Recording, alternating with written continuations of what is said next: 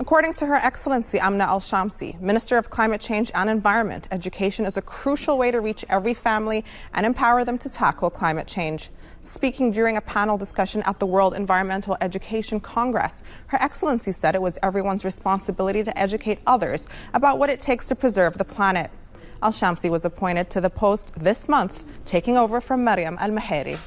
The conference also heard speeches from Sheikha Shamma bint Sultan, president of the UAE Independent Climate Change Accelerators, Razan Al Mubarak, president of the International Union for Nature Conservation, and Sheikha Shamma bint Mohammed, chairwoman of the BOD of the Sheikh Mohammed bin Khalid Al Nahyan Cultural Institution. The event is running at ADNEC until this Friday.